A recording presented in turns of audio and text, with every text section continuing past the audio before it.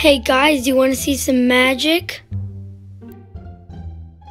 Uh. Hello, I'm your owner, Ashley. Now get down so I can give you your head pat greeting.